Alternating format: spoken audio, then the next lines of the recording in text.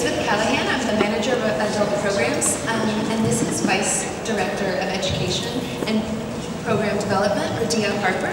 And we would like to welcome you to the Brooklyn Museum.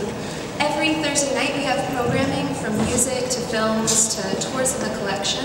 Um, and once a month we have this program, In Conversation, where cutting-edge cultural thinkers um, come together to discuss timely topics. Tonight we're really pleased to introduce to you uh, a conversation um, entitled Acts of Resistance and Inclusion in African American Art. Good evening, everyone. Good evening. I think we're all here. I know, but you know, I want to warm up the audience a little bit so that we can be awake when the conversation is going. My name is Radia Harper, as you heard from Elizabeth, and I just wanted to also welcome you here and just bring you up to speed that while we're having this conversation about African American art and artists, this is not a new topic for us at the Brooklyn Museum. We have a history of doing a relevant contemporary program uh, for a very long time, and just recently, in the past couple of months, we've had programs that have included Fred Wilson and Mickalene Thomas and Carrie Mae Weems. And at each of these programs, the topic of conversation uh, related to Now Dig This has circled back into the conversation at each of these programs. And I don't know how long ago it's been now, a month maybe, that Danny got in touch with me and put uh, me in touch with Will. And he suggested this program topic, and of course it was extremely timely, and we thought, let's do this. This is an important conversation, and we wanted to be a part of it. So I'm very pleased that you're here, and I'm very pleased that we were, we were able to put this panel together. And I just want to say something about Danny who wants to really put another uh, context to this program that most of you know Danny as a prolific writer and painter. Okay. And I think of you impresario, a person who puts art and audience together, and one of the best ones at it in Brooklyn and in New York City. And Danny is also um, a member of the a board committee at the Brooklyn Museum, the Education Committee, and we're really excited that he's a part of our family and important to us here at the Brooklyn Museum. So please welcome him, and thank you all for coming.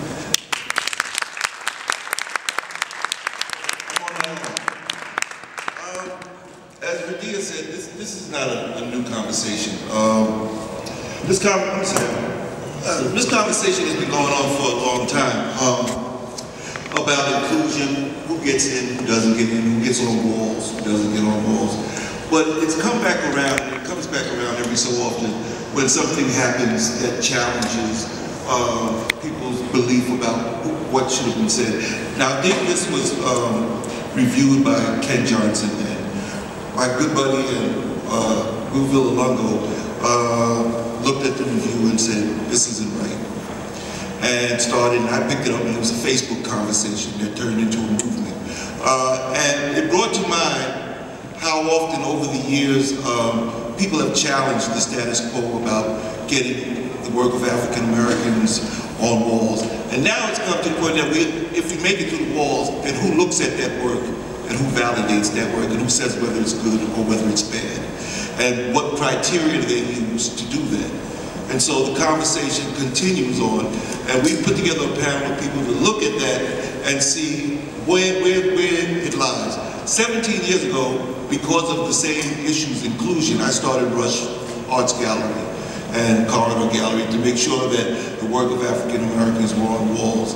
Um, for many people, they don't see that this is an ongoing problem. They come into this, and a lot of you people are young, they come into this when there's Kehinde Wiley over here on the wall, and Mickalene Thomas just had her show, and everybody's at all these great galleries in Chelsea. But there's been a long history of struggle to get there. And we want to put some context on where that, what that struggle is and where we're at in that struggle because many of us believe that that struggle is ongoing and that because we're on the walls of the Brooklyn Museum and because we're in the walls of, of galleries in Chelsea, that that is not as far of the inclusion as it is because, you know, what type of art is going on there. And there's a myriad of questions that are going to be asked by this, by this uh, panel. But largely it's about who validates that, who's the gatekeepers. That's where it came in for me. Who are the gatekeepers of who sees what and who doesn't see what? So I'm going to turn this over to our moderator. I'm going to just introduce all the artists and they'll speak in this order, guys. You should think about that. Um, the first person is William Villalongo. Um, is an artist who lives and works in Brooklyn. Um, Villalongo is a recipient of the prestigious Louis Comfort Tiffany Award and the John Joan Mitchell Foundation Painters and Sculptures Grant. His work is included in several notable collections, including the Studio Museum in Harlem, the Whitney Museum of American Art, and Princeton University's Art Museum. His work has been reviewed in Art in America, the New Yorker, and the New York Times. Villalongo is currently represented by Susan Inglett Gallery here in New York City.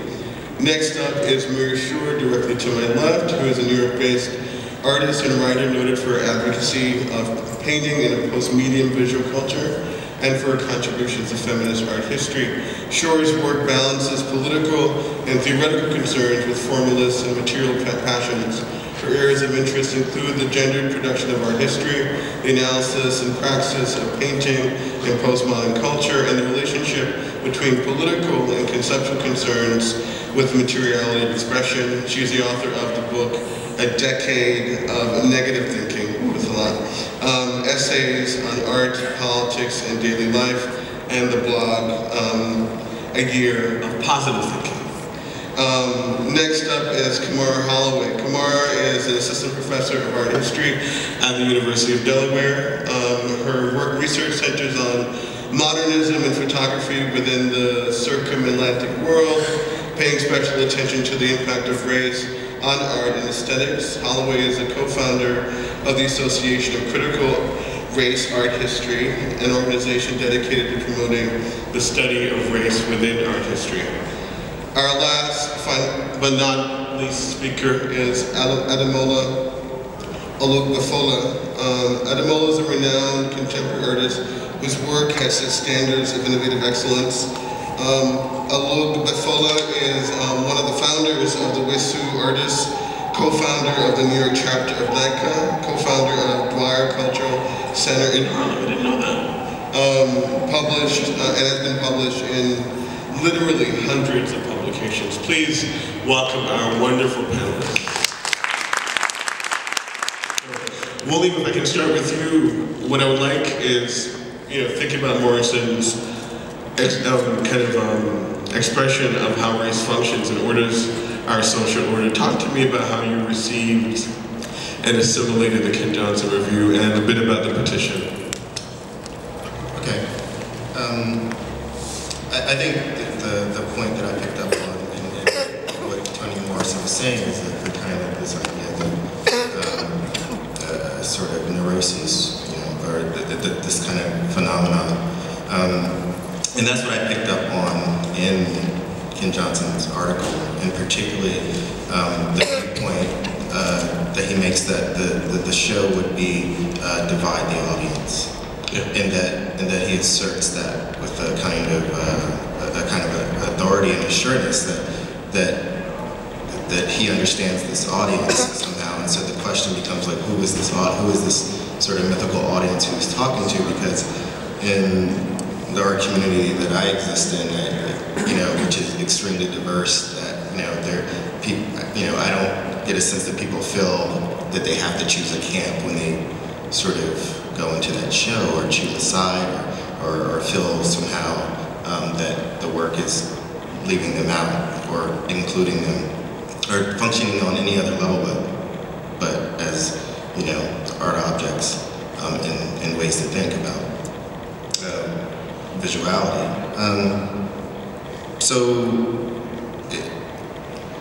you know, the, you know, what Danny was saying earlier is that there was this build up of conversation in terms of, in terms of why we wrote the petition, which is that you had, um, uh, you know, a lively conversation, including Ken Johnson on Facebook, in our community kind of saying, like, you know, we want to talk about this, we want to talk about this, and the New York Times saying, you can't, you can't talk about it, you can't, we're not going to have this discussion, basically, by denying letters, um, you know, we, there's a letter writing campaign that was denied. So um, myself and Colin Asper, who's, who's also here tonight, um, Anoka Faruqee, Steve, uh, Steve, uh, Stephen Locke, and um, Dushko Petrovich uh, came together and said, well, what can, what can we do so that people can have a discussion in the face of being completely denied by this sort of authority. So we went to the oldest thing in the book, which is like start a petition. You know, like you know, get a pothole fixed. You know, start a petition for that, and then surely we can kind of allow people to express themselves. And over 1,600 people did uh, express themselves. in the petition Curators, artists, real art. curators, uh, uh, art historians, artists um, uh, of all you know shapes, colors, and um, and backgrounds. Um, saying, influence. saying- and influence, saying saying that there is something fundamentally wrong about the, the positionality of this of this uh, this review, um, and. Uh, you know, I, you know, it's, it's, you're not supposed to do that. And I think that was the thing. You're not supposed to. We kind of rocked the boat. You're not. You're not supposed to. You're, you know, you're supposed to just be quiet and let, you know, that get said in the article, and, and, and you, you can't you can't talk to the New York Art, New York Times about the review. That's a policy uh, of theirs, and so you know, I guess you know, we decided to say, okay, well, we're, we're we know we're not supposed to do that, but we're going to do it anyway. So you're not supposed to resist, is that what you're not supposed to resist. The status quo, the kind of high-end art world? Yeah. Okay, okay. So Mary, you have a long history writing about um, the gender dynamics of um, art historians. What's your take both on the kind of egalitarian concerns of Now This, but also his piece on the female gaze, but the kind of the, the, the work that women naturally seem to produce? You know, in a way, I, I actually didn't even notice that. I, I don't take, I hate to say this, but I don't take Ken Johnson very seriously.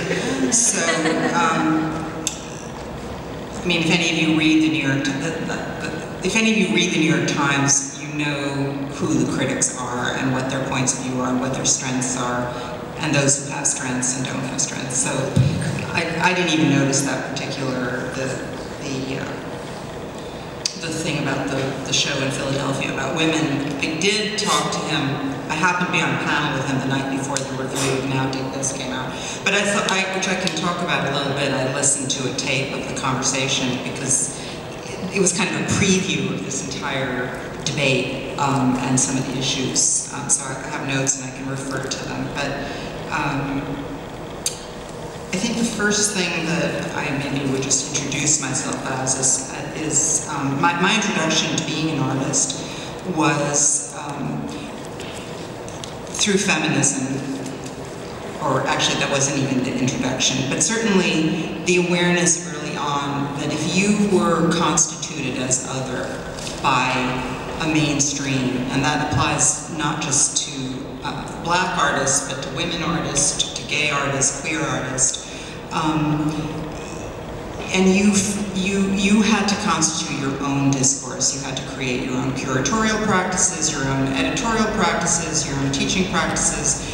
Um, you, you know, you had to write. You had to do everything to create a discourse. And certainly the the the the, the artists involved in uh, the movement that is inscribed in the show Now Dig This had an incredible web of, of galleries and um, publications, really impressive, fascinating material. So the problem really is not that. Um, the problem is then how does that get into the next step, you know, of being somehow entered into a canon, and this is, gets to what you were talking about, about the gatekeepers. So my own experience has been, to, a lot of my writing has been taking on some of the major gatekeepers of the art world, which is why I don't think Ken Johnson in, as an individual is that important.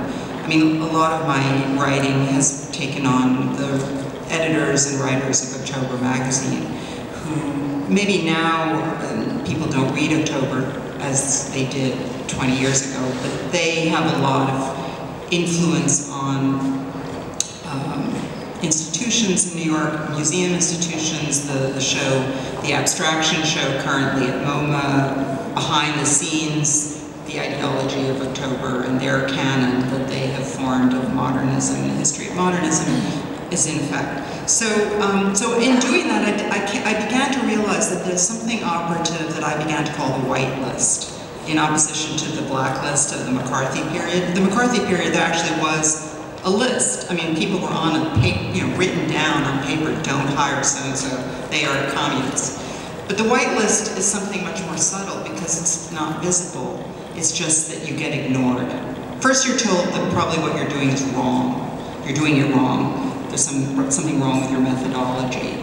But the next thing is that you, you, you don't get quoted, you don't, you, you don't get reference. Whatever the critique is that you're putting out, it just vanishes. And um, so, it, it, so in some way the canon remains impermeable. Although I think ultimately the canon gets overturned because movement goes forward. And um, you know, people just forget about what that canon was, you know, at some point. So there, there's both movement and, um, and non-movement. One other thing I'll say just as an introduction is I think one of the problems with the people that I've been kind of attacking, and I think this might be true in the art world, is people in the art world often tend to think of themselves as being resistant or that they are in a position of marginality, even when they have a lot of power. So then they can't see that somebody who's also who feels even more marginalized by them is speaking to them because they're so involved with maintaining their own um, what they think of as their own ego position. They're, so they're not actually admitting to whatever power they have and that influences the writing that they do also. Thank you. Um, and well, Ken Johnson's kind of capacities aside for a second. Kamar, I was thinking about um, when the Ken Johnson thing happened and folks started writing the petition. But here we go again. You know, we, this kind of historical fault line in um, American aesthetics and in American, at least contemporary history. Talk to me about your response to the whole kerfuffle, if we can call it that. Um, I'm an art historian, which means I spent many, many years working to get my PhD, and now I'm spending many more years working to get tenure. But my focus is on research and a longer view of art history. And um, I am very committed to art history, but art history in and of itself is not a perfect discipline. There are always uh, questions about um, our values, our ideals, our taste, our politics. Um, all of these elements are attached to the objects that we call art. And so when we speak about them, um, we should be cognizant of what those things are. They do affect how we um, understand these objects and respond to them. So for me, that was ultimately um, the flaw of this particular piece. Um, I didn't um, initially want to weigh in in any fashion, um, but I did covertly ask a friend of mine who is a person who studied the history of African Americans in the museums, an art historian named Bridget Cooks, who is a professor at the University of California, Irvine, to um, write a piece. I knew she had some opinions. And um, her, the title of her, of her op-ed piece, which um, she could not get published in the Times, was in fact, uh, Here We Go Again. Um, the Times officially stated that they do not accept op-eds on reviews, so they were not going to further the discussion in any shape or form. The sort of uh, energy around this response to Johnson is sort of characteristic of the entire history of art and the debate over cultural values that we have um, and that we tend to think don't occur in relationship to art because art is pure and universal, but in fact are very much always uh, in play um, when we talk about these things. So um, Johnson's perspective is a, a rather old-fashioned mid-century perspective that can be considered to be a formalist, what we call a formalist position, um, which says that the um, art objects should be completely divorced from the social. That's a very um, particular point of view that is usually now disregarded by most art historians who are interested in social and cultural histories of art. So um, most of us do happen to take into account uh, the world and the cultures that we live in and how they affect art. Um, for my own particular uh, investments, um, which are often what is ignored when one assumes a position like his from the center, is the idea to be able to step away from such concerns. And I think that in particular is what Toni Morrison was speaking about. Um, however, we all know that race has always been uh, central to how this particular country works and that uh, the construct of race in this country has been um, one of the most successful global exports that we've ever produced. So it really does shape uh, a global culture uh, at this time. Um, I have always been committed to African and African American art, art and the study of it, which is still very difficult to do. Um, the documentation and knowledge about um, works by African American artists is still very hard to come by, and the full story of who has made um, work, uh, who are people of African descent who have lived um, in this country or in this hemisphere, there's still a lot of work to be done. But uh, also um, what had emerged uh, in my consciousness and that of um, people of my, uh, now I could say generation of art historians who um, came to age in the sort of, in the 90s, uh, is that the um, impact of the rise of theory and its integration into uh, the academy and, and its uh, impact on art history in particular meant that um, we noticed, because we were working on artists of color, that issues of race applied to African American artists, but also in other contexts, were not being addressed by the discipline.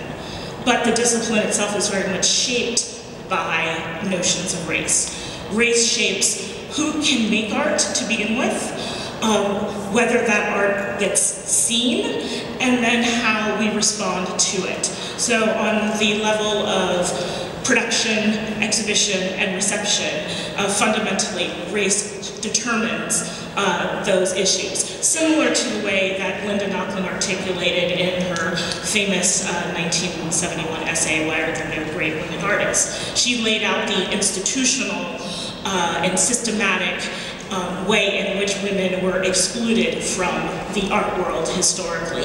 And that is true for queer artists and is true for artists of color. So we have taken it upon ourselves to foreground um, race as a structuring mechanism in how we understand art, and that's part of really what our project is. And so uh, when I asked Bridget to write, she wrote it for a blog that I have that promotes those ideas. So.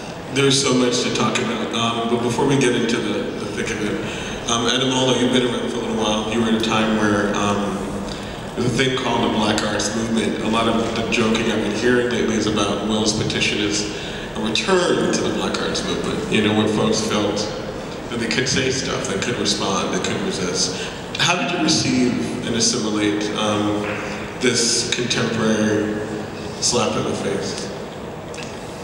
Well, first place, we understand that the critics are a peculiar lot. Yes, they are. They are paid, they make their living supposedly criticizing, supposedly an informed criticism. Ken Johnson's analysis of comments are very uninformed. If he really understood the context of the work that was there, he would understand that the production from artists of African descent is wide and varied. So to uh, summarize that exhibition as a pillar of what black art is and how you go about commenting on black art is way off base in the first place. Because if you look at what is quote unquote, quote unquote, the black arts movement, it is wide and varied. Have artists like Jack Whitten, William T. Williams, Joe Overstreet, who worked in the, and Norman Lewis is a perfect example, who was in and among many of the abstract expressionists, but was never recognized. The artists that I mentioned, such as William T. Williams, Jack Whitman, and others, also worked in the abstract genre. How do you classify them? They are, they're African Americans, but they're working in a medium that some would regard as European. The same way that this Ken Johnson went about uh, claiming that assemblage is something that is uniquely European. And if you look back in African culture, the whole idea of putting stuff together creating an artistic piece would go right back to many of the altars that come out of many of the Thousands of years. thousands of years. Right. So uh, again, the important thing I need to emphasize here is that if we're told, if we're speaking about the Black Arts movement, you're not just speaking about the visual arts, number one. There was a unique and, and really phenomenal cooperation and interaction that was going on between theater, dance, literature. I, for one, illustrated several books by Baraka, Larry others. I worked very closely with dancers who were trying to recreate the whole genre of dance that spoke to the liberation and freedom of people of color. So the context upon which many of these critics approach African American artists of color is off-centered because they're not looking at the reason for why the art was created. And just to close, the works that if Ken Johnson did not know that these were people of color, he just went into that exhibition and just looked at the work. The assemblage is no different from, say, Picasso or any of the uh, modern masters. Who were themselves inspired by African art. Exactly. Well, that's a whole other issue. But the point is, if you just looked at the art without the intellectual rubus, then he would he would have possibly a whole different perspective here. The fact that it is labeled as a show of African American artists infected his opinion. I mean, he actually says in the review, um, but it makes a difference, but it makes a difference to know that Mr. Edwards is African American after encountering work. And this is interesting to me. I'm going to think about um, what an etymologist suggested about the kind of wide and varied quality of the work that African Americans produce troubles the question, I mean, long questions from Alain Locke to Langston Hughes, the Negro artist the Racial Mountain, about this tension, this, which is a kind of American tension, about are you an artist or you're a black artist? And for many contemporary artists, um, that label black is anathema, and somehow is a death knell for the gatekeepers. Is the development, the sustainability, the viability of a black aesthetic tradition something that's desirable? Is it futile? Can we see the outlines of it? And I'm asking this question not about black celebrity artists. I'm asking a question about formally, conceptually. Can we identify anything at all that we can call a black aesthetic tradition?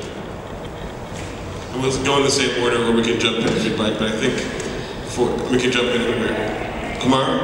I would say that um, most people would find it hard to um, think about their art specifically in that way. I mean, some, usually the thinkers, uh, the Larry Neals, the Alain Lockes, etc., have articulated such positions. The artists themselves have probably been less deliberate in their decisions. They want to make hostile to that label? they want to make art and they want to get it out there and they want to get it shown and they'd like to have it uh, examined and experienced very thoughtfully.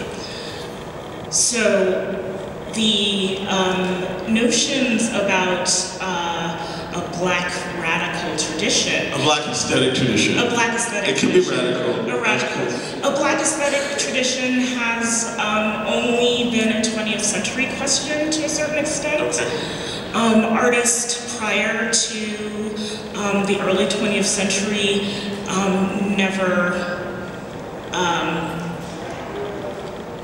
explicitly made those kinds of articulations. Um, it's only when African Americans really become a co uh, cohesive modern national uh, co like cohort in, in the 1920s after World War I that the black leadership begins to push uh, civil rights political agenda and the idea that the arts must participate in that um, becomes the question and whether or not there is something inherently black to some um, something produced by a black person uh, becomes uh, a matter of debate. Let me ask you a question, and this is for everyone, just to follow up on that and for the interest, or in the interest of clarity. What I'm not, what I'm not asking is, you know, I'm a black artist, like pounding your chest. I'm asking something yeah. a little more subtle. I'm just want to repeat the question or clarify the question just a bit. It's all open-ended. Tradition is desirable or not. I'm asking if it's desirable or not. But what you said initially about the fact that, you know, we live in a society that's always already raced. Yes. That's how art gets produced, disseminated, how it circulates, and how it's received and read, right? And so for what, whatever our self-identifications or pronouncements about what we do in the studio, it's marked as a gender piece of work what Mira just said, right? And so negotiating that terrain is really complicated. So I guess what I'm suggesting, and again I'll ask the question again, is just, is it desirable? Is it futile? Does it make any sense that we cohere around this mantle called Black aesthetic tradition? But I'm, I'm I think that's a, well, I mean, I'm saying it's a, it's a flawed, I'm saying the artists themselves are probably not focusing on that issue, and it's others who are focusing on that issue. They get caught up in the expectation of whether or not their art meets a definition of blackness, or um, as my colleague Jacqueline Francis talks about in the 1920s, Negro art. They themselves are, are like all other artists making art. We think about uh, it's interesting that when you say art, it's now or something. I'm not saying art is derased, but I'm saying artists are not, artists themselves, from what I can understand, are not thinking um, until they are required externally to say whether my art fits within a black aesthetic tradition or not. Their work speaks to their own experiences, which are inherently racialized, and their work may comment on race issues, but the idea of whether it has to comply with the notion of a black aesthetic is determined beyond. Can I, I just say something? Is I think it, you know, even to, to her point, I think it, it may be desirable, um, but I don't know if it's desirable to artists necessarily. Um, it's so, open question. So, you know, so in, so so in, so in other words, it's like uh, the, the, desire is is to have something canonical. To, the desire is to have something um, uh, of connoisseurship in, in, the, in the market. I don't think that, but I think I think that artists, you know, probably move, you know, I do. I move through um, my work, not uh, sitting there uh, making sure that the T's are crossed and I's are dotted. was suggesting, not to cut you off as well, but what Marshall was suggesting wasn't about complying or conforming or anything like that. He was proposing that there's some utility, some serviceability to um, his body work, for instance, he was suggesting. um, but other people of his ilk and his stature, that for him constitutes something that might look like, how, for all his flaws, a tradition. That's not something that you inherit and you just assimilate but that's something that you can reference, you can yeah. point to. And so like the idea that somehow artists are just artists and they're not at all concerned with race, I get that. But it's, a, it's a, another question he's asking about the utility of something that coheres around this thing called blackness that I, might be useful to the generation that come after. That I, I can't believe anybody would not agree to that. I think the problem for me in, in your formulation is the word, or his formulation, is the idea of aesthetic because that relates in some way to the idea of a style. Um, and and the, the conflict that I see as, as a teacher and looking at, at work done by black artists, and it's interesting you brought um, Jack Whitten's work as an example, is that um, there's a, there's there are two separate things. One is, do you represent? In in your work, do you represent something that somebody else, whether they know you or not, is going to say this is by a black artist? So there's certain signs and tropes that, that might indicate that. And the other are, are, are artistic styles that, um, and sometimes the two come together for an artist who will engage with that, but there are artists who don't necessarily want to, and they do maybe have there are things that have led in their life that are racialized, that are part of their background, that may lead them to do this or that. Yeah. Although they're similar to what also might lead somebody else to do this or that. But they may not want to represent, and I think those artists um, then have to deal with both black and white culture, or white and black culture, looking at them and saying, you, you, we want you to represent. You know, why aren't you representing? Yeah, and then you're left give you two historical incidents that support this idea. In the 1920s, when there was a critical mass of African American visual artists who were seeking exhibition opportunities, and the Harmon Foundation created art, uh, art awards and then art exhibitions they framed the exhibitions and the work as Negro art, as racial art. And Alain Locke came in and said that work by African Americans should display some kind of racial essence. That put certain pressures on artists to respond to that mandate, and some produced work that might be called, quote unquote, representative of a black aesthetic, let's say Aaron Douglas. But his work prior to that moment of this sort of insistence was traditionally academic. The discourse around the work put pressure on the artist to deal with the concept of a black aesthetic, and that's where the Negro artist and the racial mountain comes out of by Langston Hughes, and the response by George Schuyler, and the other writings from that period.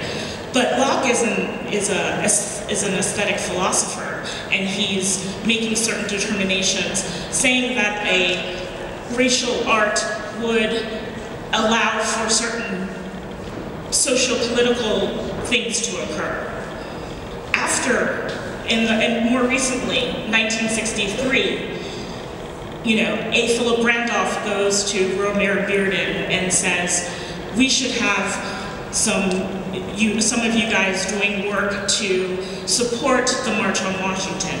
And the group of African American artists known as Spiral is created. Again, a mandate of creating art that articulated blackness for the group um, for social reasons is being put out there.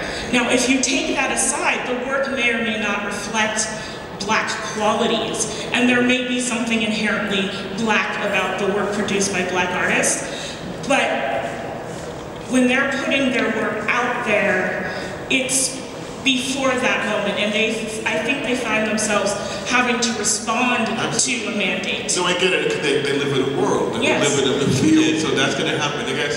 They're uniquely American. Yeah, you're, so like, in America. What I'm getting at is this kind of perpetual anxiety around being marked with the racial marker, but then in that big show in DC, they got rid of it as a, a, a rhetorical device, rhetorical conceit, which for me betrays precisely my question.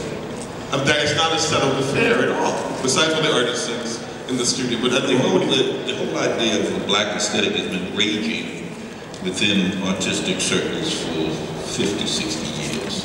During the 60s, when um, we were actually creating art that we believed had a purpose. The purpose was not only to create something beautiful, but at times something that was wrenching something that would be instructive, something that would create conversation. This was in the middle of the civil rights movement. So thus, the art took on a purpose, a higher purpose, other than just being theory and aesthetics. It took on a purpose that incorporated theory and aesthetics and all of the qualities that go into making good art, which is composition, color, and all of those things that, that you know, of the, the parameters of that whole creative process of the visual arts. I want to keep emphasizing that one of the things that happens in contemporary society is the divorce of the visual sciences, which I prefer to call what we do, uh, from the other art forms, which is a reflection of life itself. Dance, when you walk, you're dancing, you're moving. When you talk, you're doing some theater, you're doing some literature. You know, so all of these things, so our view was that the art was an integral part of everyday life. Today, you know, we can sit up and have theory all day. Now, one of the things that I think is important to understand is that critics, get back to Ken Johnson, are paid to critique. All right? One example, and if uh, I would encourage all of you, if you haven't, to get up to the Wing, I think, and see Judy Chicago's dinner party. Now, for those of us who are maybe a little older than most of you, in the 70s when she created that work, it was such an uproar between uh, what is supposed to be art. These are mainly white men critics now, between what is art and what is crafts. Within the context of uh, the African American experience, just like jazz, a jazz musician is not going to say, I'm going to create black music. They're creating jazz music. This is music that I grew up with. Well, in Judy Chicago's case, there was such an uproar uh, because there was this question about whether this work, and how many of you in the audience, by the way, have seen the dinner party? Ah, an informal, that's wonderful. but in case you didn't know, it was a great uproar in the 70s. Of course, it's bizarre now because she's glorified in a, in a whole room with the, so all of these things evolve. It's, I'm, I'm feeling very honored and uh, uh, quite amused that I'm sitting up here in 2013 still talking about black aesthetics because that was the same raging issue in the 60s. So I'm, I'm, I'm wondering now, how far have we really come? And will that question ever be resolved? Can I actually pick up on that? Because um, just last last week at, at the College Art Association, I, I went to a panel um, reframing post-black. So it was like, okay, that's like stepping it forward. And I, I knew I was coming here and I thought, okay, this is like two universes. Some of the issues were exactly the same, which was all, all of the artists on the panel were having to, in some way, explain themselves in relation to being black, whether they wanted to or not, whether it was relevant to them or how they did it in their work.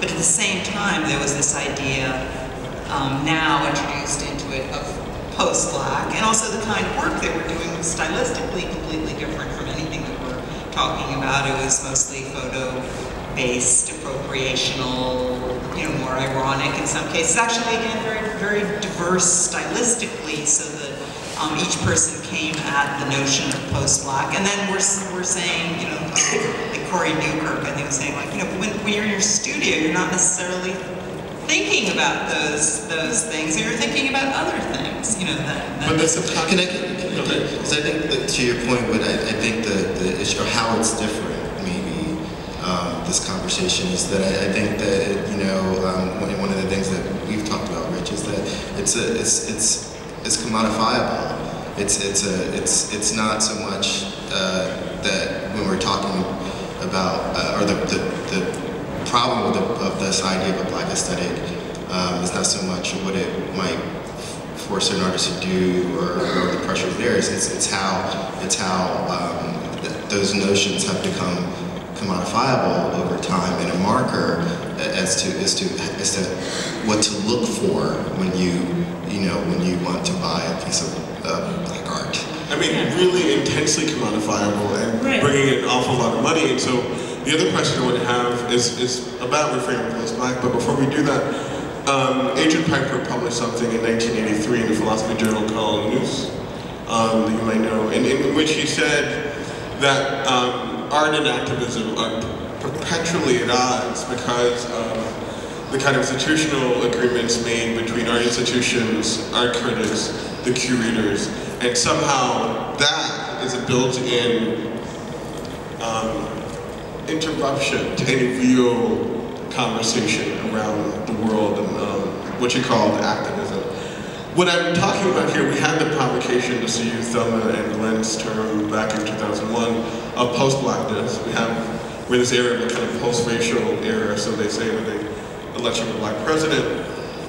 But what I'm interested in, if you guys can all speak about this, is this pension in the post-civil rights and certainly post-black era, if we call it that, of at once intensely commodifying art objects that are made by black folks, but, but, but also disavowing it as black.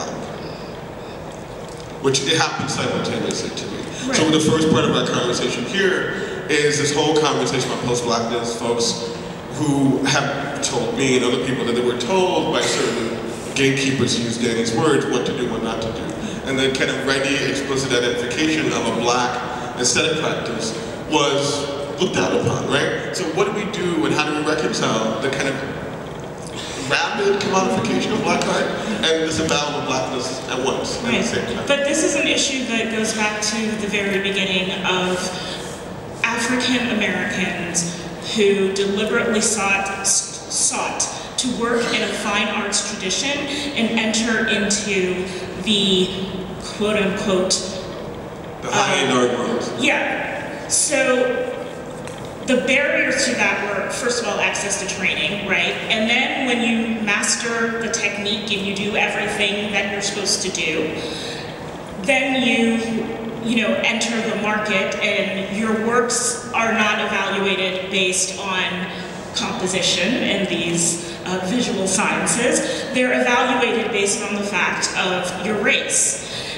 And this goes back to Henry Tanner, it goes back to 19th century artists, and it is only this moment of evaluation that is predetermined by race or by gender or by sexuality that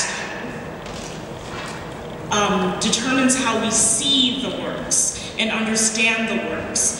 But the works themselves and the artists themselves may choose to explicitly respond to these conditions that exist, or they, or they may um, adopt a posture of refusal. But the questions of black art and then post-black art, which was an art that supposedly was freed from the mandate of having to do an identity-based art, um, still the, the, the fundamental issues of the art market and the way in which it has been systematically exclusionary to these people the same way the country is, right? They're, they're, they're fundamentally racially biased. Hence, um, when these people enter, um, if the art entered, like you said, by itself, if uh, you know a William T. Williams entered to the gallery by itself, what an amazing canvas! They learn he's black, and it's a whole different issue. But like the Philly American show throws, throws it all into sharp relief for me, right? So you have this discursive, rhetorical, marketing titling Yes. of a body of really superstar black artists, you know, um, that's called 30 Americans. And it's a heavy title, it's all black artists. So how, again, do we reconcile that moment of commodification with, in that show, the explicit disavowal of the racial marker?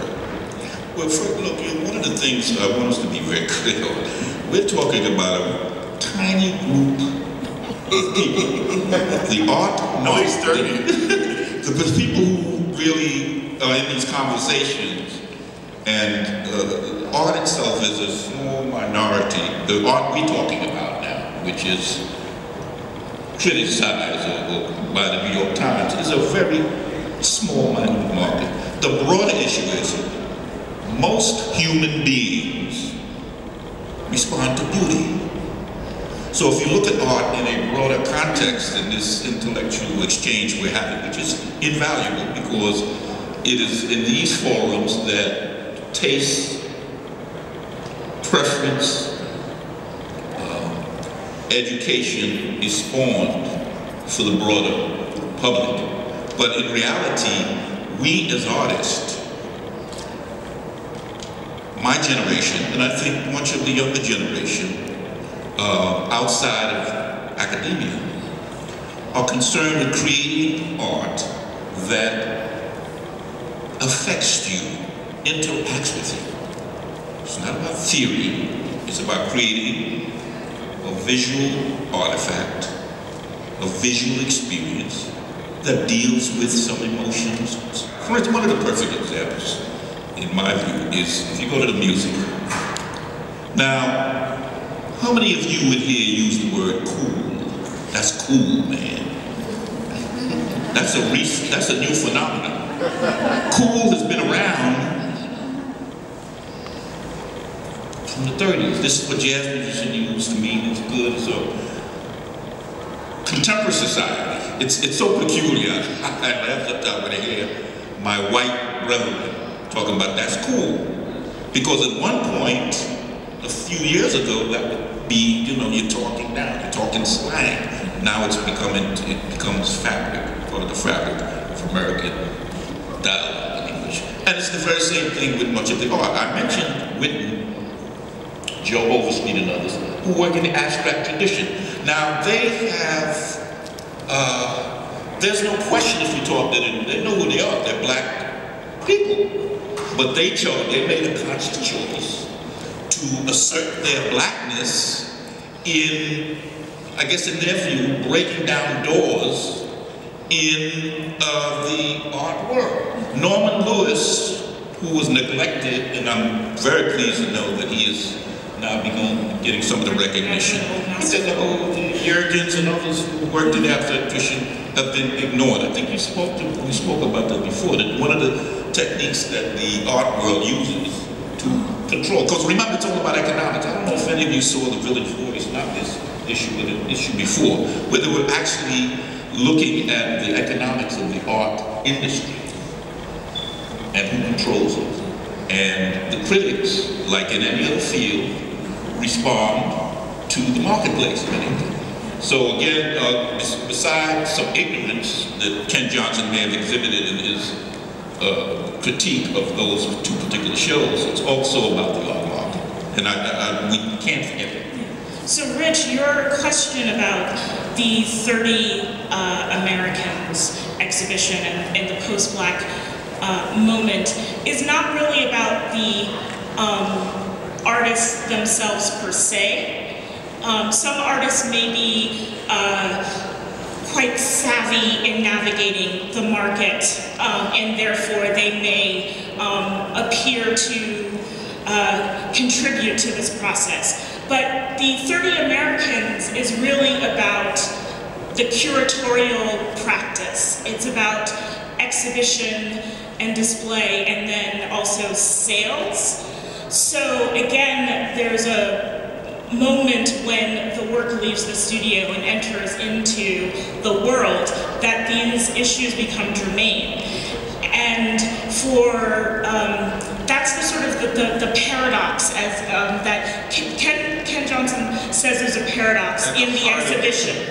But the actual paradox and what is his fundamental flaw with his, his, his um, intellectual project is that his desire for uh, an art that is about art and beauty um, is precisely the, um, the qualities that he denies to artists once their work has been attached to a particular body.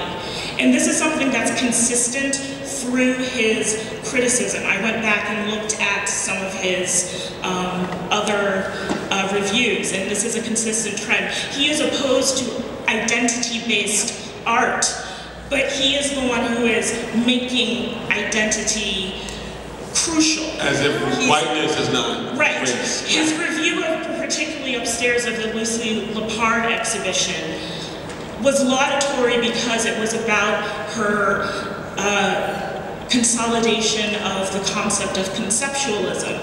He then puts a dismissive aside at the end about the rest of her project, which was explicitly feminist. So he consistently does this. He's, he talks about this in relationship to Chicano artists. He talks about it over and over again. That's, that's what he would, that's what he, these are the notes that I took the, the night before.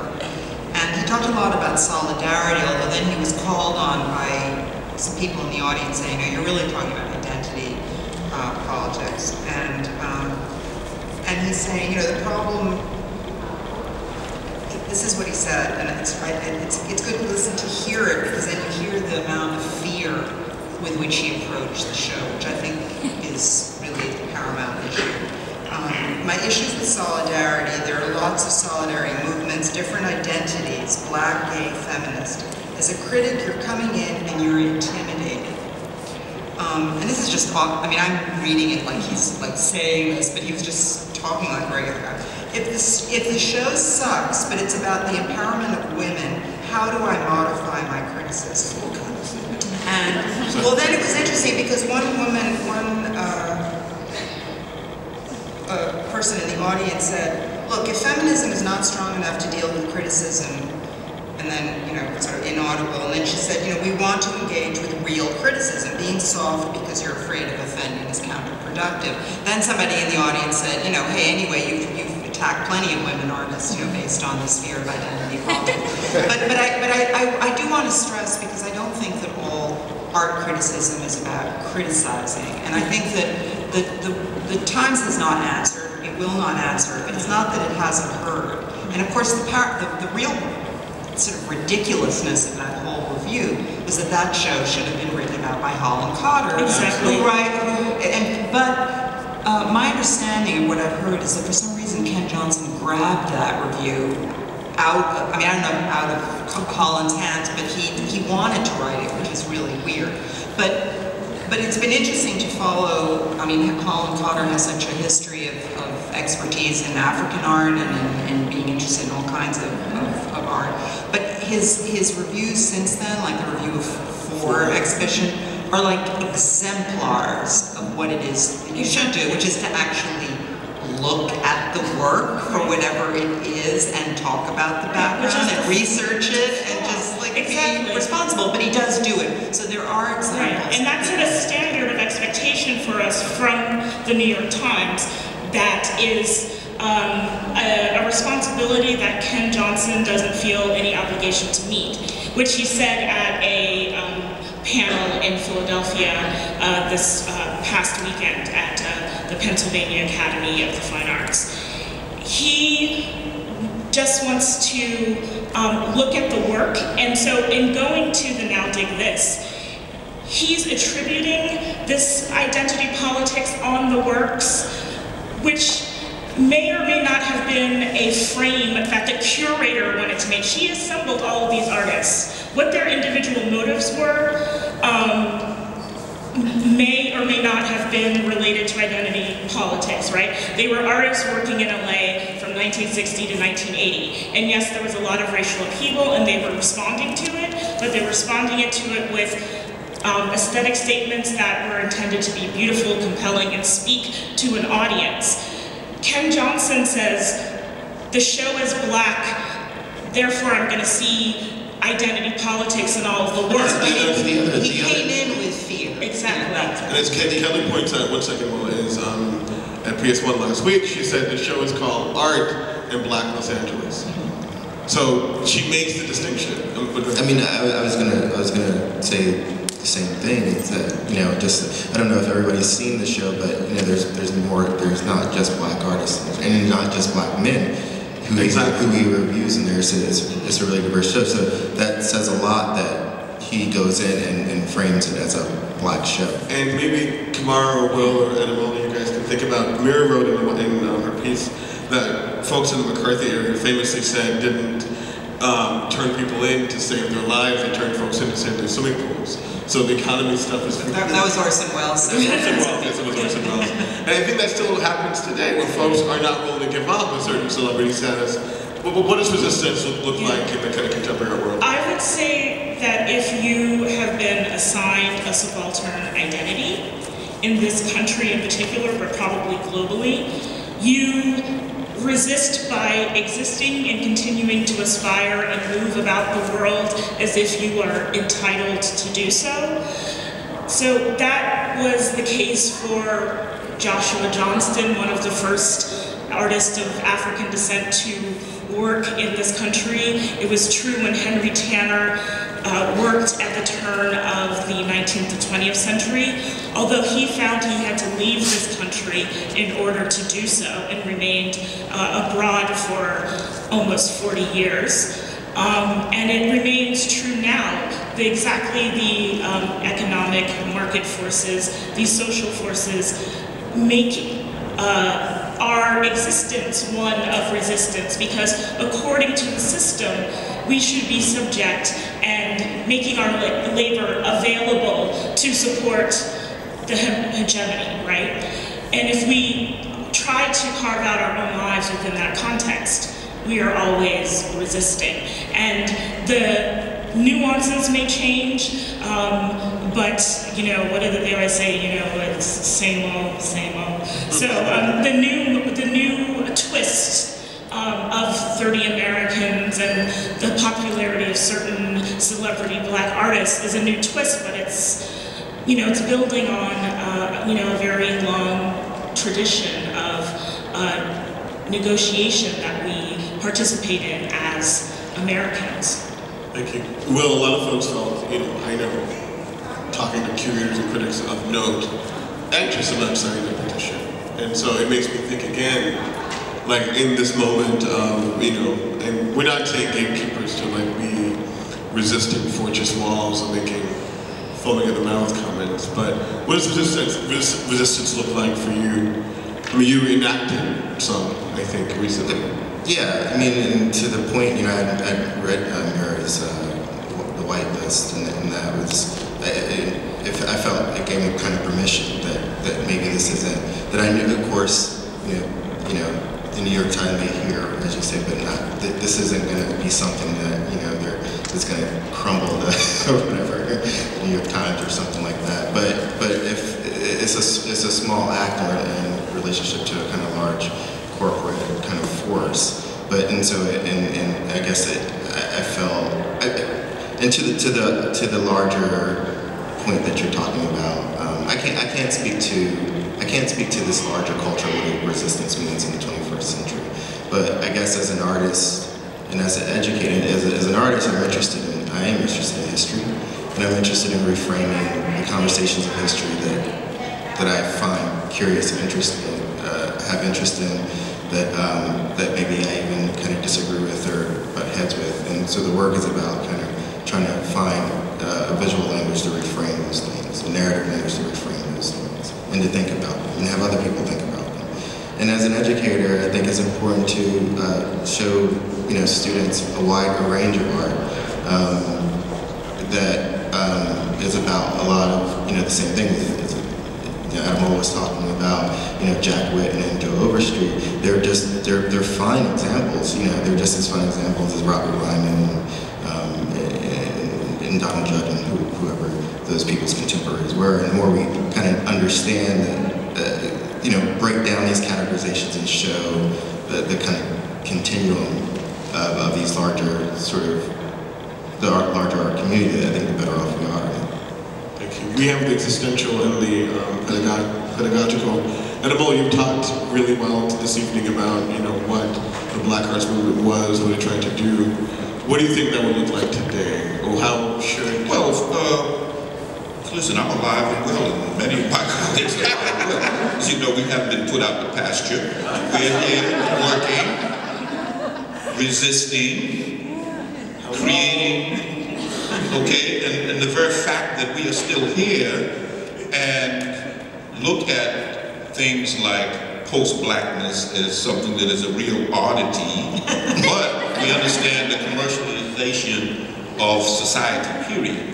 So the whole idea of post-black my complexion has not changed. So those kinds of things you resist out of survival. And you, you try not to, you address them so that it doesn't ferment and become the norm, which uh, I hear this idea of post-blackness, which I understand the philosophical framework upon which it was created. I understand what Thelma was trying to do, and she was successful in it because we're sitting here talking about it. But it also makes us think that there, this, this has been a great change. Listen, there is a tremendous, there's been a quantum leap in terms of consciousness. I see a lot of young people in the audience, and that just thrills me, who are sitting here listening, probably can tell me a lot of stuff that I don't know. And that's healthy. That's moving forward. That's resistance. Because they're going to resist the nonsense, the propaganda, and their free thinking. So free thinking in itself is resistance. Um, so going forward, I think the whole idea of cooperative interaction, what I think, and you can correct me, because I don't have my finger on the pulse of everything, there is this individualism within the art world that has always been there, but then during the 60s, 70s, maybe 80s, they were real camaraderie, they were real people getting together in the 50s. That's what spawned the abstract, you know, the abstract expressionist movement. These were artists who had issues with society, and those issues brought them together around aesthetic, around aesthetic principles and styles and all of those things. And I don't really see that much happening. Again, brief me if I'm, I'm, I'm wrong, It's but... a nasty word, solidarity. Well, that- yeah, exactly.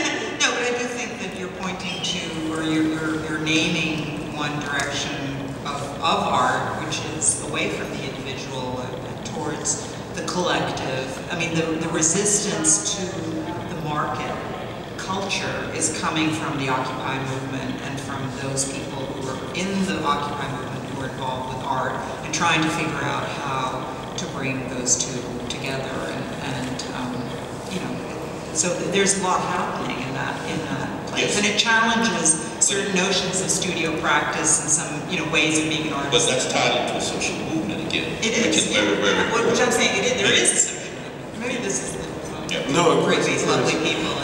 You guys have been incredibly patient. We have a lot to talk about. But um, any questions from the floor? Please raise your hand. Elizabeth is right there um, with the microphone. We have to turn the mic. Fantastic discussion, guys. We're just barely scratching the surface. Uh, okay. Um, maybe this is sort of comically simple, but Mean, you're talking about the, the existence or the non-existence of a black aesthetic. It seems like with artists like uh, Henry Tanner and with uh, Mayor I mean, just by basically depicting African Americans or Africans, they're automatically creating a black aesthetic. You know, so sort of the the movement already exists, right? No, no, because you're, you're, you're conflating two things, which is subject matter versus object matter. So you've got the sub, the, you've got the subject matter, which let's say is an African American subject, an image, but that the, if the style is still, um, you know, influenced by French Academy, then style is something different. But I mean, the style doesn't have to be centered around. I mean, you can style, center a style around anything, an aesthetic style around anything that is, that's aesthetic. So, I mean, the black figure itself is an aesthetic object. That's that's an aesthetic truth. You can center an entire style around that, Well, there's or a- even around a color. There's another, I think there's another issue at the heart of what you're talking about, which, because, and and you have to bring up, say, like Tanner, somebody who represents fi- figures, you know, and, and, and actual people. And the, the point of that work is, is, is the same, uh, I would assume is the same point, uh, say if you painted, uh, if you're a white person painting an image, you know, like a, a white image, is that you're, you're getting at some, uh, some sense of humanity. And I think that the, I think the struggle in all this and, the, and the sort of the, the, the you know this this kind of uh, racial uh, neuroses that we live in in this culture is that you, you you know as a black artist you ac- ac- actually have to fight to say that this black body actually represents a, a, a universal humanity in which uh, you can, anybody can identify with. So no, it's not about a, it's not about a black aesthetic. You know, it's not. That's not the point. The point is the same point that if you were a white man painting a, painting an image of a white person and you were concerned with the, that, uh, that depiction's humanity, that would be that's the same concern. It's not. It's not a stylistic concern. If you're black, you're expected to make black subject matter, recognizably black subject matter, which means you had to put black bodies on your canvas, on your pedestal. But many, many, many other people made work with black bodies and fetishized the black body moreover. So I mean, you- that's- Uh, there's the- two separate Yeah, it's like issues is, is, again. is Thomas Hart Benton? You know, is he, is he making a black aesthetic? I guess I want to like interrupt. You want to finish your question, sir? You want to? Yeah, sorry. I mean, I don't mean to, like, I'm not. I don't mean to put up too much of a fight here. I, I'm just saying that you know when Michelangelo makes the David, he's not objectifying whiteness. So I don't see why Romare Bearden depicting or any artist is necessarily objectifying blackness by depicting Africans or African Americans, people with black skin. I don't think it's a. You know, I don't think it's. Uh, Let's phrase the question just a little bit differently to say that somehow what, what, what, what Kerry James Marshall was getting at, Kerry's a pretty smart guy, you know, what he was suggesting is not about styles, of course, because Ademola talked about wide and varied. In all of our complexity, we can straddle painting, sculpture, all that stuff. So it's not something about aesthetics and style as being somehow in like perpetual opposition. What he was asking, and again, an open-ended question, is that desirability of a tradition loosely formed, right?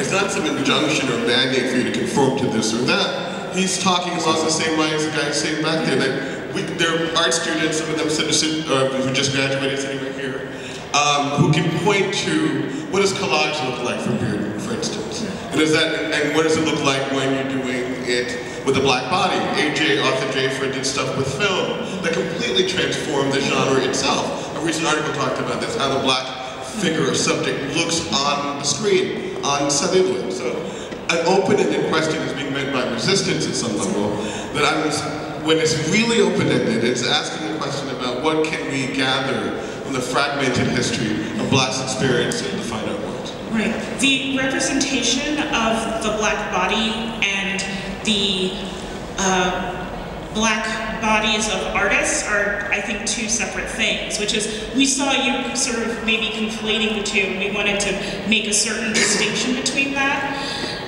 When Michelangelo makes David, he's representing the human figure to embody a certain set of ideas. What? They may or may not be. I mean, people might say they were. It was a celebration of, of Flor, Florentine identity, right? Black bodies and white bodies historically have had different meanings attached to them. So when people choose to represent black bodies, they're coming up against the idea of what that black body means. And people who are of African descent often try to reframe that definition that the culture has of what the black body means, but white artists do too. William Christopher, who was the life partner of the artist George Tooker, was deeply invested and inspired by the 1963 March on Washington and Martin Luther King, and did a whole series of images celebrating the life of Martin Luther King. This is a white elite artist who had no obligation to do so, but he attempted to also redefine what the black body meant. So it can, um, what the subject matter connotes is, um, I think, distinct from the person who speaks. Listen, I, one of the things that is very interesting is, let's just take Romare Bearden. Here he glorified the idea of the black body. His work also is integrated with Mondrian. If you look at some of the way he creates his paintings, the idea of collage can go back to Picasso, of them. And then you take another example of, say, a William T. Williams, and you look at Zulu houses, the way they were painted in South Africa.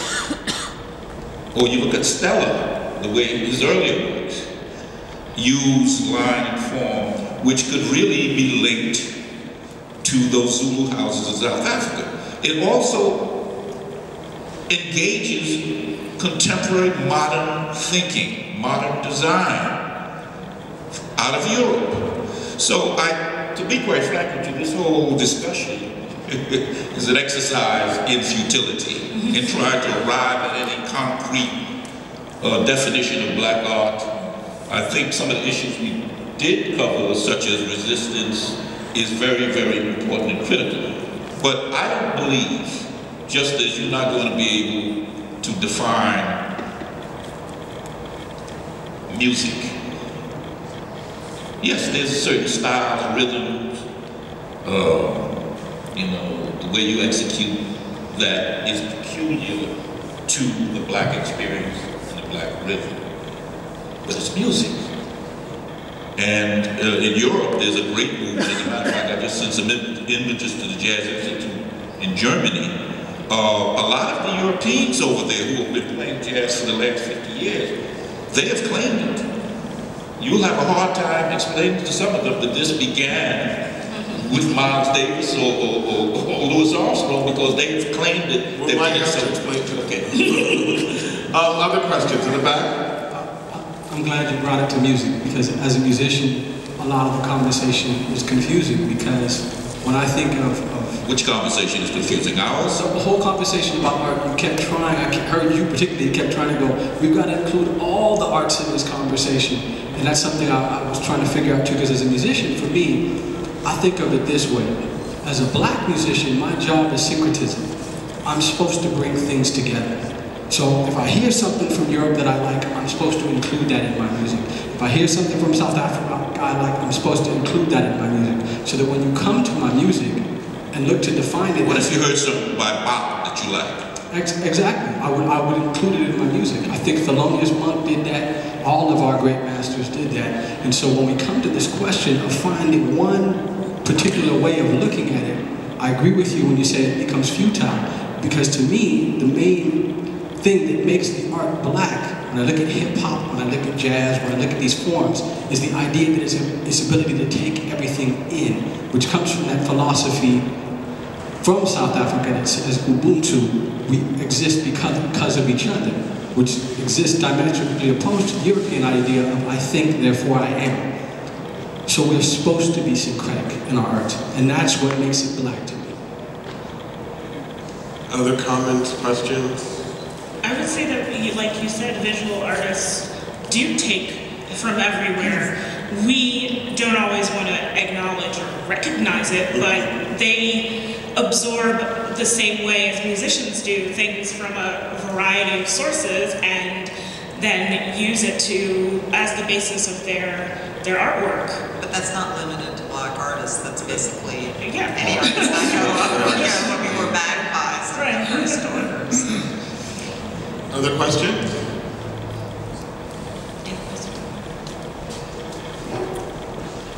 Uh, that was wonderful, guys. Every, everything was really good. I wonder if um, Kerry James Marshall um, called to this, again, new black aesthetic tradition um, could be an attempt to um, force critics like, you know, Johnson, Ken Johnson, to put work in a certain context that is better informed or more informed about what artists live through and bring to their work. Um, you know, personally, I don't think it's necessary. I think they should do their homework before creating, you know, reviews. But I wonder if Kerry is thinking in that way, like, let me set the standard or show or talk or set up what it is artists' concerns are so that when it's looked at or understood, it can be understood in an informed way.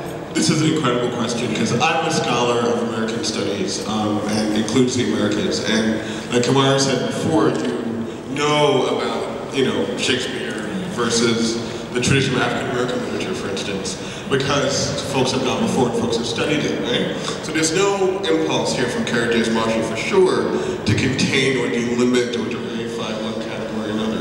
What he's curious about, I think, is what um, Deirdre is suggesting that somehow, despite the borrowing, the synchronicity that informs all the work that we do, we're all each other's, you know, related people. Um, that there's something definitive that we may, might say we can relate this to that. It's not trying to give you a mantle or wear this garment called black. It's, it's something about the work that pedagogically, ideologically, like epistemologically is important and illuminating. Is all he's suggesting. That we have to build it again. So like Deirdre suggests that someone like Ken Johnson doesn't have to kind of parachute in and make something up. But he um, explicitly stated um, last weekend um, that he did not do research prior to going to the show, and he feels no obligation, in fact, does not want to do the research before going to the show. So he was perhaps uninformed about the artists themselves besides uh, David Hammons, who he seems to like. Um, and, and he was uninformed about the curatorial practices. That's where I see his flaw, as I said. Someone like Holland Cotter is deeply well informed, and when he goes to an exhibition, which I think is the role of the critic, he examines the art and he examines the exhibitionary framework and evaluates and assesses them for both their strengths and their weaknesses. Ken Johnson does not feel that that's his job. Um, I personally would say that someone like that should not have um, a job at the Times because he has a uh, public platform um, basically to just uh, articulate his own biases rather than helping to inform his readership. Um, I guess I'm kind of interested in the commodification of resistance um, as one thing, but also, you know, being um, a resident of the Studio Museum, interested in uh, the idea of the, the this show as a corrective measure, as you've described it, the Studio Museum also acting as a corrective measure, um, and sort of interested in when those sort of institutions will expire or how um, this sort of, the, the box is, I feel like you described a, a, kind of a box that artists got put into, almost as uh, victimizing, but feeling like that's still being perpetuated and maybe, um, I don't know, that's something that we should... This precisely why the Studio Museum was founded. I mean, these questions that you're asking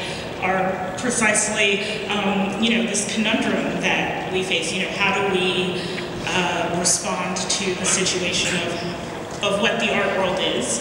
Um, we can, you know, propose a, a, dialogue on the black aesthetic to force people to understand um, ways of making art and design and viewing the world that they may not be uh, ordinarily privy to, even though we, I think we agree that they should be. Um, and uh, how do you um, break open the box, create a space for everyone to participate? Um, and so the black aesthetic, multiculturalism, these various movements and ideas have always attempted to um, put that forward. But again, they're always caught up in the, you know, betwixt and between. Um, the issues at the Museo del Barrio right now with the directors um, brings up this uh, idea as well. Um, over its history, the Studio Museum, which was a similarly motivated institution, um, has continued to thrive and adapt and shifted the dialogue maybe to post-blackness, or maybe not, but um, you know, have to evolve with these situations. And of course, if we become really Marxist, right? It's all it is uh, all about the the market, and you have to adapt to it. And all of these institutions and debates help us with that. Um, and hopefully, yes, there would be a moment when we would move to a different stage. But I want to uh, just on Chicago. What I was saying with Chicago. Going back to Chicago because I didn't respond. What I was trying to say is not so much his work stylistically, but the support that he got from the high-end art world, began to support his work, came as a result not only just brilliance as an artist, as ability with that, but the fact that he had a body of support behind him. You are our body of support going forward. If this uh, hierarchy is to be neutralized. kingmakers who have all the big money. It's going to be in your hands, and that's what I'm saying. When there is a popular support of what art is, and it's taken out of, you know, this elitism, then we will begin to see some real changes, not only in giving us some relief so that we can work without having to be uh, enslaved by the tenets of the art market and the whims and wishes of a few people in this village. Did you see that village voice? You should get that. It's really, it's I read beautiful. that. Yeah, yeah, right. I mean, uh, so that, that's all I'm saying is that the future going forward is going to be in your hands. Before we close, I wondered if um, we have time for one more question or no? One, well, you guys put your questions together quickly. I guess, Uh, Sean and this lady right here let's take those questions. Yeah, at the same time, yes, exactly. Um, I guess sort of as a follow-up to Jennifer's question slash that general conversation specifically about like uh, resistance and categories, maybe like how we're going to deal with that. It seems like, especially uh, this conversation has made it really clear that there's like a lot of confusion around like um, when like the category or like nominative distinction becomes like a strategical force and like when that's going to be a rhetorical uh, like political power move and like when that's oppressive right? Or when that's like not something that you want to take about because we like quote don't think about it in the studio as artists or because like we're more complicated or complex as individuals right?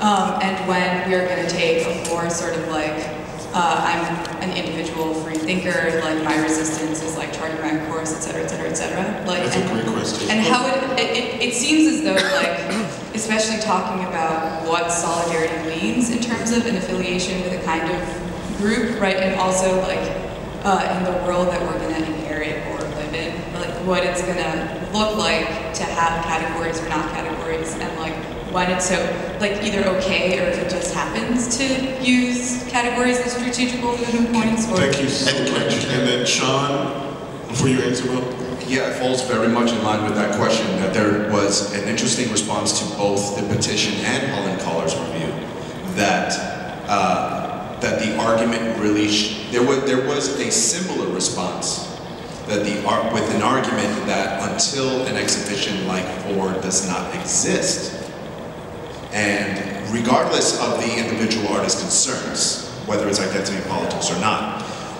until we divorce the work from an exhibition in the language of that exhibition, uh, you know, certain language, will we not achieve that next step that you were This is a brilliant closing question. About categorization. So the idea of for itself is being a marked enterprise, I right? have a, a response that I think goes back to You guys Morrison. go right ahead. We'll start with Will and then Mira, and then I think we're gonna be two minutes.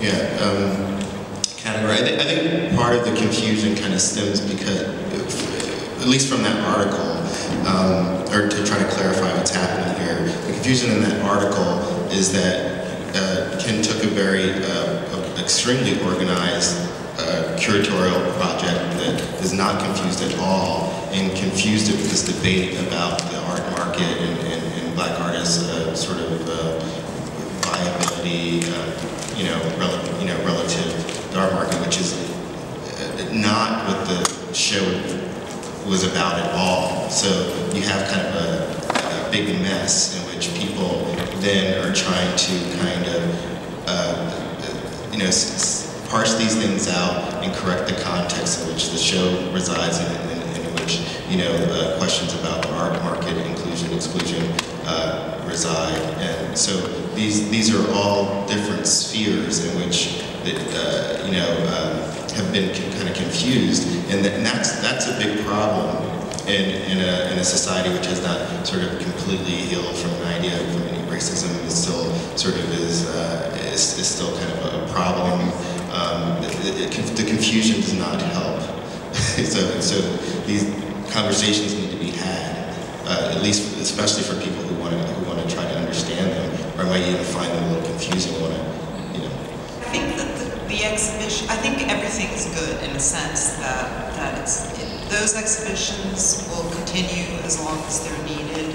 They'll shift in a way. I, I haven't seen the Fore exhibition, but I heard um, Naima Keith um, talk about it. And in a way, I thought, wow, she's so lucky. She gets to curate a show which sounds lively, filled with different kinds of art. Actually, she's way luckier than, curators at more, uh, you know, the established white institutions that are actually very restricted in some way in what they can show artistically. And um, so I, I, I, I, don't, I feel like it's fine. It's fine, and things end when they end. You know, so the point at which there's no need for it, really, then it probably will shift to something else. There are moments where things overlap. So there, you know, there's some uh, women-only art galleries that you know, co co cooperatives like AIR Gallery that are sort of in that moment where is is there a need for this or not? Does a younger generation need it or not? And there's shifts in the art world where all of a sudden something in any world where suddenly something happens and something new comes along, and then so then there'll be a new version of the same discussion probably because there because those things about who is in, who's out, who has power is is is the human story of human history, unfortunately. Brief last remarks from Camara and Yeah. Ademola. Yeah, as we um, study race as opposed to uh, defining blackness, uh, what becomes evident is that uh, this question that you have about categories and when they're no longer necessary or the freedom to think beyond them has been a privilege of whiteness. As whiteness fashions itself as the universal, although it's deeply embodied, they, they um, take on the ability to just be and to think freely and to do whatever and never to mark themselves as whatever. Um, so that very thing in a, in a way has been commodified. And so uh, this particular type of response to categorize or, or actually respond to the categorization project that came about as a part of the modern um, society is uh, a way to attempt to sort of dismantle it or break it apart. But I believe um, that, as Mira was saying, these that effort to define or to categorize and to challenge that uh, the, the categories will be um, there as long as they're needed to be till the ability to just be is uh, a, a, a, something that is afforded to everyone. Or you wake up one day and suddenly it's possible that what had been the power structure no longer has power. And, and it, you, it seeps up on you just the way climate change seeps up on you. There's that, all of a sudden there's a point where, With less deleterious you know, effects. yeah, yeah, yeah. Ademola, the last word from you, my Yeah, brother. well, I've, I've uh, firstly, I'm very pleased to be sitting among such distinguished thinkers and uh, such a responsive audience. Uh, I have lived long enough uh, to have seen a quantum leap in terms of consciousness. Uh, people's receptibility to the diversity within the Af- African American community, uh, people's acceptance of one another. This is spawned by um, integration, but integration among these people, but there's also integration. Many young people today are from mixed parentage. That is very important.